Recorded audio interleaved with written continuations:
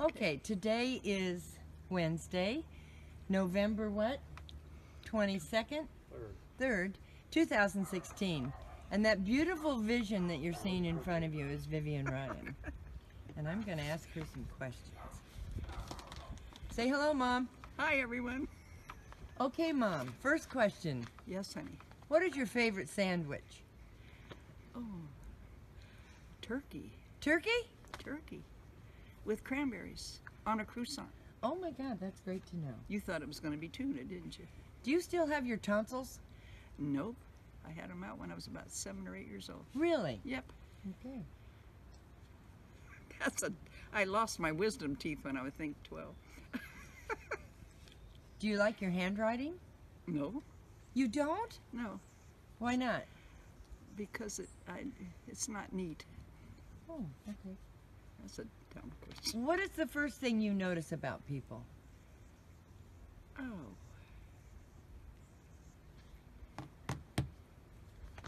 Okay, your I mean- time's up. no, I'm just kidding. That's a long thought. That's a long thought. Okay, we'll get back to that. What is your favorite smell? Oh, gee. Why didn't you clue me on these before? No, Who ever no. thought about having a... if Do you have a favorite smell, John? Absolutely. What? Food. Any food. That sounds pretty The good. ocean. Bacon. The oh, ocean. Oh, okay, Oh, the bacon. ocean. All right. The ocean. Can't bottle that. If you were a crayon, what color would you be? Blue. Oh, your favorite color. Yeah. Okay. Everybody in the world's going to be interested in this. How would you describe your childhood? Oh, There you go. I, I, had a wonderful childhood. Yes. How old were you when you got your first kiss? That'll be telling. Let's see. I know it was the night before World War II when they invi- invaded Japan, and oh my I was God. staying at a friend's house, and they played Spin the Bottle. First time. Yep. And who was it with? Okay, Bill Raymond. You're learning all the things that doesn't matter to us. So. Who were you closest to, your mother or your father? My mother. Barbara Jean was closest to to Dad. Yeah. Who was the great love of your life? Jack Ryan. What did you like best about your father? He was a gentle man. Very gentle. How would you describe your mother? Uh, she was probably the first women liber, liber, or, yeah, because she worked all her life. She preferred working to being at home. We always had a housekeeper. And that was that. That's the way my sister and I both remember our childhood. Okay. What was your favorite decade, if you could? Oh, high school was wonderful. Oh, great. Good. Best years. There was none of that um, bullying. There was none of that in those days. Everybody was friendly, as far as I was concerned. What is it that attracted you to Jack Ryan? Oh gosh, love at first sight. Yep. That's there wasn't any particular reason. It was just yeah, he was there.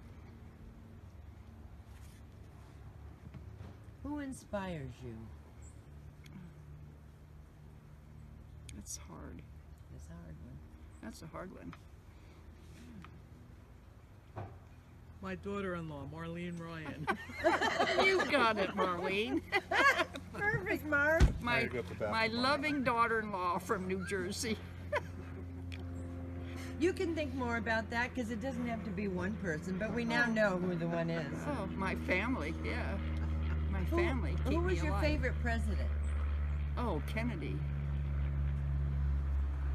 If you could choose any career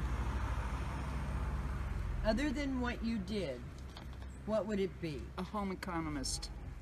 I wish I'd have gone to Davis and followed through on cooking and sewing and yep. I like that. You didn't know that? Never knew that. Yeah, well, I, yeah, I always loved to sew and I loved to cook, and I took that in, in high school. I, I wish my mother would.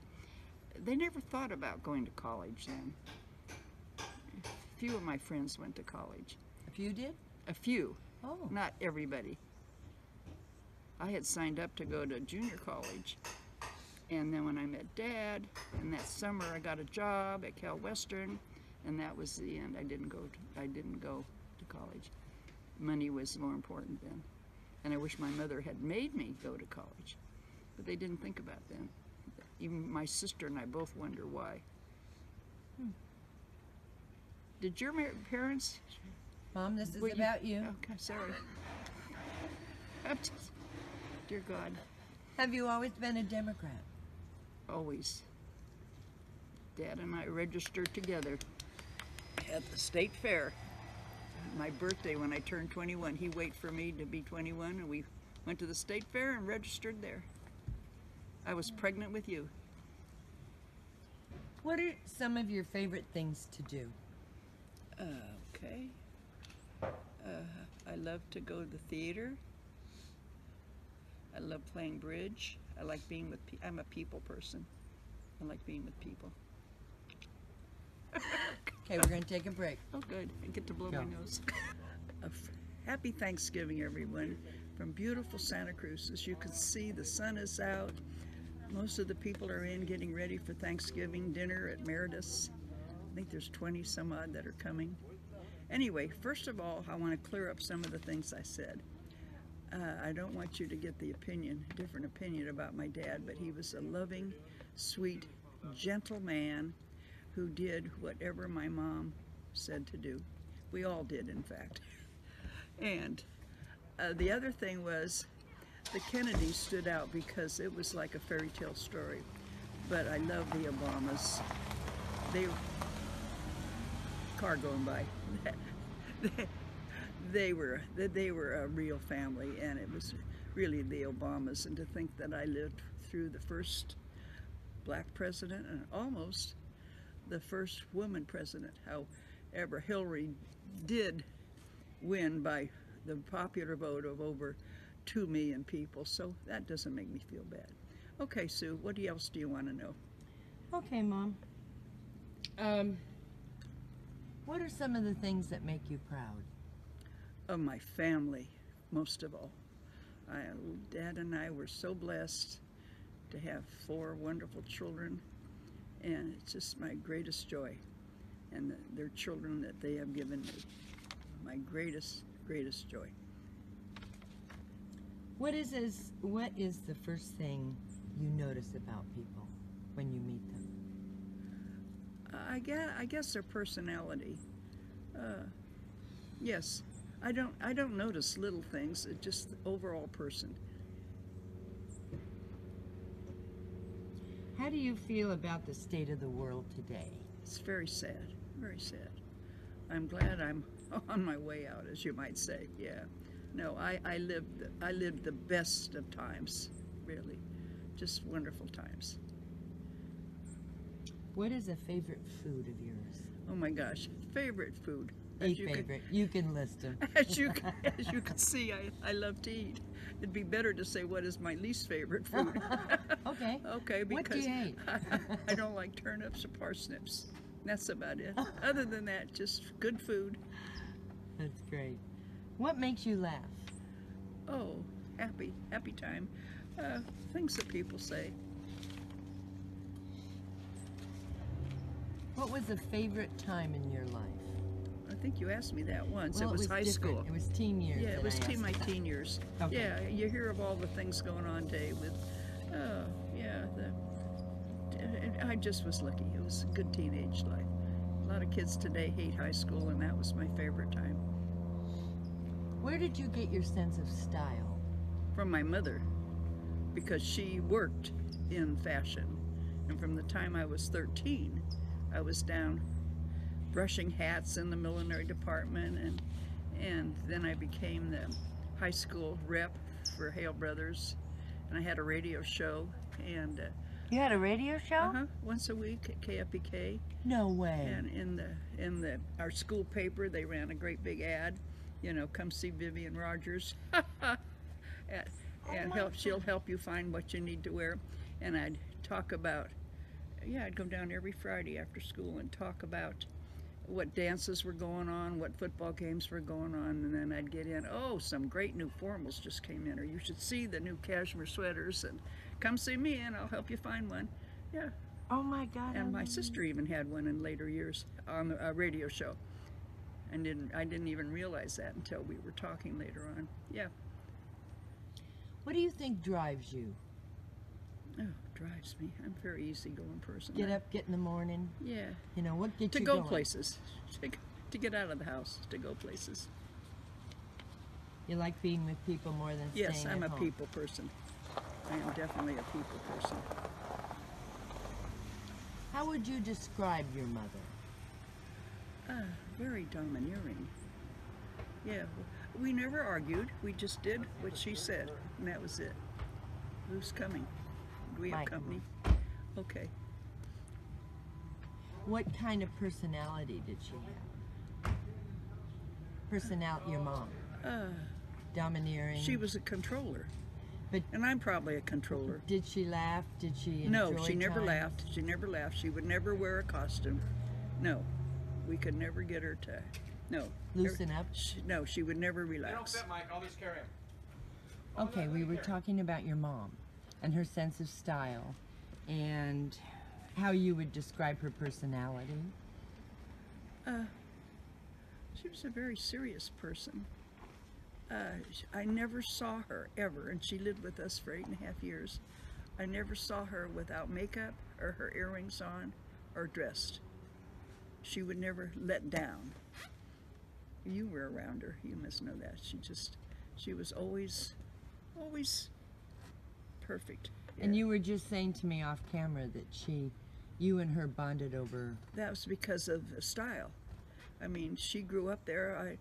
I, I'd get out of school and go down there, and she'd have dresses picked out for me. And I mean, I was so lucky. We, we didn't have money, but we never wanted for anything.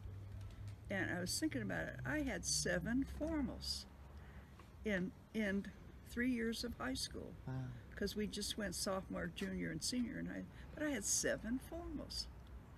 And Auntie can tell you that because she all, she got them all cut off. Did you secondhand. ever wear the same one twice?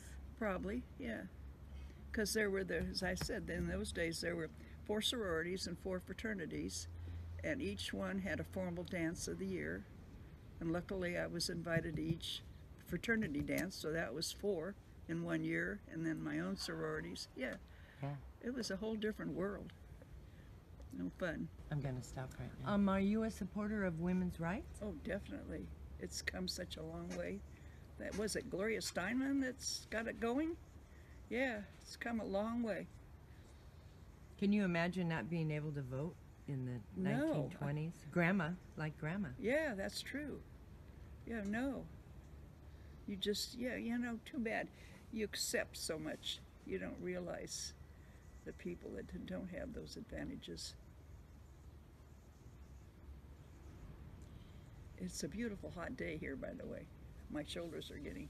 I can't believe this weather. It's so great. Who have been some of the most important people in your life? Oh, my family. Definitely my family. And Brother Bertram was a mentor. I knew we met Brother Bertram before I knew Jack. Uh, yeah, he was up in the mountains when we rented a cabin. The Christian Brothers rented a cabin next door to ours. I was like freshman or eighth grade, maybe. Yeah, he and Brother Eugene and Brother Walter. And, oh, the good old days. So you met Dad up Oh, at yeah. what, Camp Sacramento? No, I met Dad. My best friend Pat Armstrong was going out with them, and this new guy came to school, Mason Regal, and Pat just, wow, she went over the hill, and uh, she had a date with Dad, and she broke it. And Iris, another good friend, who's she was going with a boy from Christian Brothers, and and so she said to Jack, "Oh, I know a gal. Why don't you call her?" And so Dad called me and asked me to go. And then uh, he called the day of and said, going to have to cancel our date because I can't get a ride. And he didn't have a car. And I said, Oh, well, I could take the streetcar. And we took the streetcar and then walked six blocks. And the next day he went back to basketball practice and said, uh, I just met the gal I'm going to marry to Brother Bertram. And Brother Bertram said, Oh my gosh, what's her name? And he said, Vivian Rogers. And Brother says, I know her. And that's how it all started. And Brother would tell that story, yeah. And that was it. That was on May 10th, 1943. Wow. And Some he of went the in, other he went in the service then on June 16th on his birthday. He left for the Navy. Yeah. other favorite people in your life, uh, women friends like Ruth Kima Oh, or yeah. I have a lot of wonderful friends. Ruth, Ruth was a great friend. Rita is still a great friend. Pat, Regal. Yeah, we're still great friends. And Shirley Haskell. These were all bridesmaids, you know. So, and they're still alive. We still correspond. Now, here's a hard question for you. What advice would you give to a woman turning 70? Oh, jeez. that kind of means you, honey. Just a woman? Just a woman like my daughter makes me feel very old. I think I have a daughter going to be 70. Oh my God. Uh, enjoy every minute. Enjoy every minute. Because that starts a new phase Oh. of No, 90 is, when I hit 90, that's when I felt. After 90, I felt old. I was, I was still going strong at 70, so. that's good. And That's you're- encouraging. And, and 70 now is like 50. yeah. I mean, yeah, look at you. You, yep. you, were you just going to tell me how young I look? I'm just gonna say, no. yeah, you do. I, I would, I would really, if I didn't know you, I'd think you were maybe gonna be 60. Wow, Mom. Thank you. You do well, honey. What are some of the good things about getting older? It's easy to talk about the bad things. Oh, people help you. yeah. There you People go. People are so considerate. Yeah. And when you're used to being independent, it's hard to accept the help from other people. But boy, do I need it now. Do you feel wiser oh my gosh, yes. as you get older? Yeah. Forget the college. a lot wiser. Yeah. Oh, Maybe definitely. not get as excited about things You're right. or Oh, I don't get excited at all. If I can't change it, I don't worry about it. That's my theory. You can't worry about anything that you can't control. That sounds like someone's logo. Logo. I learned from that. Yeah. how would you like to be remembered? Oh, as a happy, friendly person. Yeah. It's just a caring. I, I am caring, and I and I love friendships. And I love my family around. This is a special treat down here in Santa Cruz. Too bad you're not here, Mary. And Tom. I didn't know if you were down there. Okay, yeah.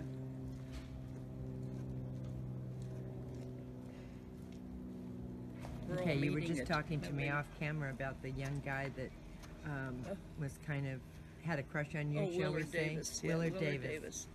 Joanne can verify this. So tell me the story about Willard Davis. Are you on? Yeah. Okay. Well, uh, how did I meet?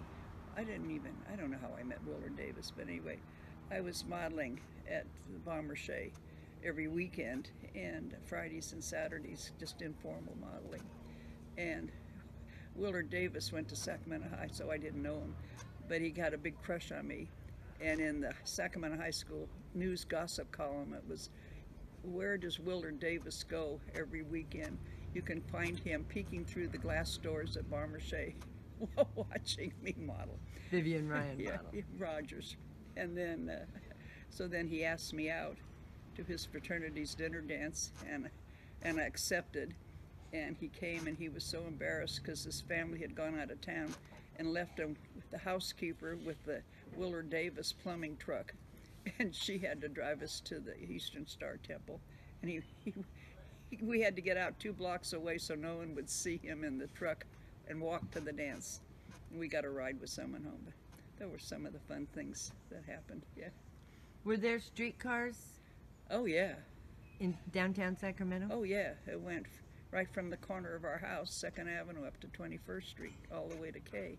Do you remember how much it cost? seven cents or five cents. Yeah.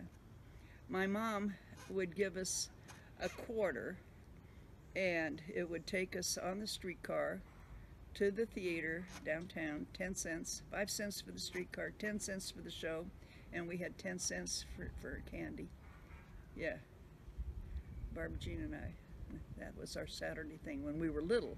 Right. This was like eighth, seventh, and eighth grade.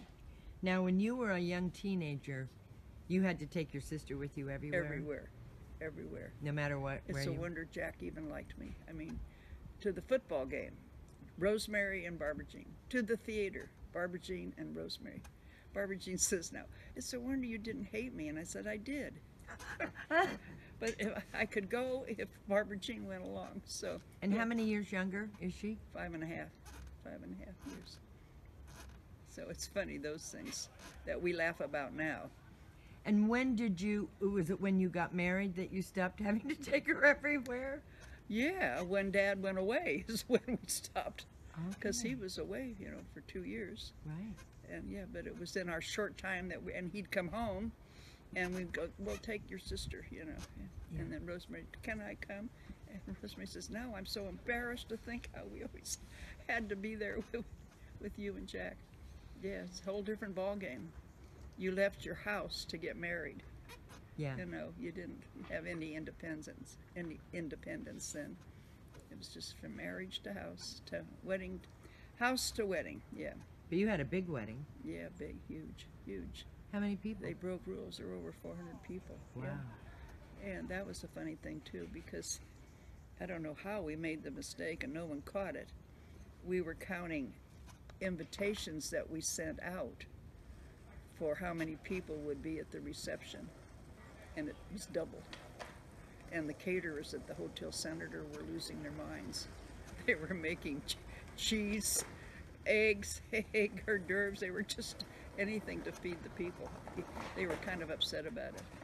But Yeah, it you was- can imagine. and it broke all rules. There never Catholic Church didn't allow weddings on Sunday. It was and Easter Sunday. It was Easter Sunday, and uh, we received communion, which was another thing. You just didn't do that. We walked up to the altar and to the tabernacle, and Monsignor gave us communion. And he, it was just right after the war, and he, I guess he liked Dad and I, and uh, he let us get married on Easter Sunday, which was a shock. Because they just, and still I tell people that, and I say, I can prove it. I have pictures right. On Sunday, April 21st. Yeah. Which was great. So when you were in high school, were there some wild times? Would you consider yourselves the wild No, crowd? it wasn't wild. It wasn't wild. Just regular teenage Yeah. drinking and Oh, I can remember during the summer sitting in the breakfast room, all of us with the windows open. It's a wonder my mother didn't know that. And we all were learning to smoke. And we'd, we'd I can remember writing a letter, please give my son a package of cigarettes, Mrs. Harris. you know, and we'd send Bob up to the store with a quarter for a pack of cigarettes. And we'd all sit around smoking. The house must have smelled like a smokestack. Yeah. how about drinking? Same No, thing. d- no, never did that. There wasn't drinking in those days. Um, Are you kidding? no, I'm not. Um, my dad and mom had a drink every night when they came home from work. They'd sit at the table at A the, cocktail, the I wing, ba- remember. wing wing back chairs in the window, and they'd always have a drink. And then we had little tiny root beer glasses. They they'd mix Seven Up and a little dash of whiskey from the time I was little. So drinking didn't mean anything Right. to me. Right. I'm going to So- turn this off Okay. now. Yep. Okay, what in your life would you do differently if you could? Well, I answered that. We're on tape now. Yeah, uh, going to college. I wish I had gone a couple years to college. I don't know why. Barbara Jean doesn't understand either why her parents. I think my mother just wanted me to get married. That was it in those days. Yeah. So you notice we've moved to another place because it's gotten so hot. I'm ready to go in and take winters off. It's beautiful out. Uh, tell me some of the fun stories in high school. I can always remember the Alan Cunningham, Jack Ryan Oh my gosh. car accident or Always something. trouble. Alan, we always had trouble. The first time was uh, when we went out to Farrell swimming. Did I ever say how Dad and I, we went to that dance as a blind date, and the next day he went back, you know, and told Brother Bertram. And then the next day was Sunday, and I was Rosemary's sponsor at confirmation. And so I went to St. Francis Church, and we all marched in, and then the bishop came in with his two altar boys. And who were they? But Dad and Alan Cunningham. No. And I couldn't believe it. And he spotted me, and we kind of, and that, and then we came out, and when we're standing at the back of the door was Dad, and he said, uh, "Would you like to go swimming out to Farrell's house, which is out on Fair Oaks Boulevard?" And I said, "Oh, I can't. I'm involved in this confirmation thing." And Rosemary said, "Oh, go, oh, go, Vivian, go." She had a big crush on Jack at that the minute she met him, and so I asked my mother, and they said, "Just be back in time for dinner." And so I got went home, got my bathing suit, and the Farrells they had dressing rooms on one side of the pool. Got in my bathing suit and forgot about time, and Mrs. Farrell called out and she said, "Your mother's on the phone. Get home right now." And I went, "Oh my God, I'm in trouble." So I got dressed and was walking by the pool, and Tom Farrell's brother pushed me in, got all my clothes wet. My good clothes, it was my graduation dress to be. And Alan says, Oh, don't worry, we just live a few blocks away. Uh, my mother, we've got a dryer, we'll go home and my mom can fix you up.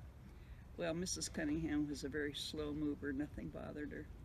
And she gave me a bathrobe and she put all my clothes in the dryer. Meantime, the clock is ticking and I'm going, I gotta get home, I gotta get home.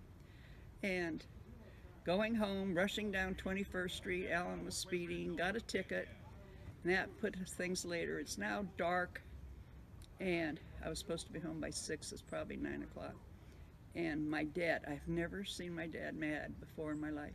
He was out pacing the sidewalk in front of the house, and we got out of the car. Jack opened the door, got out, and he said, "Where in the hell do you think you've been?" Jack says, "See ya." he jumped in the car, and off he went. that was one of our first Alan Cunningham stories. Then we double dated all the time because he went with Peggy, my best friend, Peggy Hobrecht. And then they were both in the wedding. And then we got married, and our wedding gift, I was pregnant with you, and he was a little late on the wedding gift. And he comes with this Wait, great. you were pregnant with me when you got married? No, no, no, no. I was pregnant when he gave me the, uh, he gave us our wedding present. Oh, I see. And he comes to the house and he has this great big red, thoroughbred Irish setter with a big sign around its neck. My name is Mike. And I, I said, I don't want, a, I never had a dog, an animal in my life. My mom and dad didn't like animals. And I said, I was going to name our baby Mike if it was a boy. I don't want a dog named Mike. Anyway, the dog was horrible. He, he was such a thoroughbred, purebred. He chewed up my wedding robe. He chewed up my alligator shoes. And finally, he jumped over the fence and chewed up someone's chickens. And that, oh, that was the worst part. That's when I said, go. We had you, and he, he didn't like you at all because we had him first. And we went through you, and how did that go? Anyway, we were. Oh, yeah, I had you on the couch, and he jumped up and scratched your eye and made it bleed. And I called Dad at work, and I says, "Get home! You've got to take this dog. She could have. He could have put Sue's eye, Sue Ann's eye out. Yeah." So Alan came and got the dog, and he took it home, and he couldn't train it, and it ended up he took it to Woodland to be trained professionally. So it was just a bad dog. And that was another Alan story. Oh, there were so many. And when I was pregnant, he'd come every day and take me out to his mother's out in the country because their house was air conditioned and I didn't.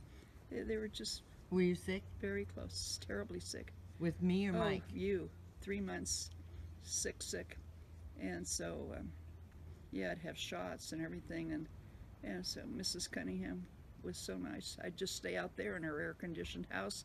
When he had to go get his dad at work, he'd bring me home, and some people saw this going on, him picking me up after Dad went to work, and so the big scandal was he was he was your father. Of course, we all laughed.